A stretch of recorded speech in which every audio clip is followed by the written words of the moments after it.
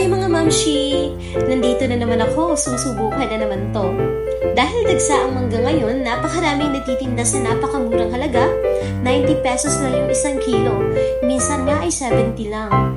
Kaya yun, napag-isipan namin gumawa ng mango flow, isa sa mga comfort food namin dito sa bahay. Bumili lang kami ng isang all-purpose cream, condensed milk, grahams, at syempre mangga. Sabi ni Ate Dottie kailangan ipaghalo ng all-purpose cream at condensed milk para balanse yung lasa bago ihalo dun sa mangga at grahams.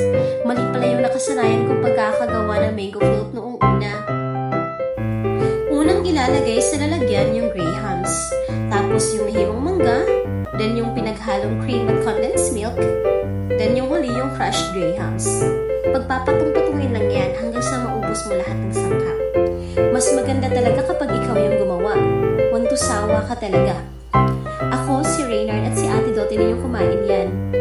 Pero habang ini-edit ko yung video na to, wala na, ubos na to. Yun lang, bye!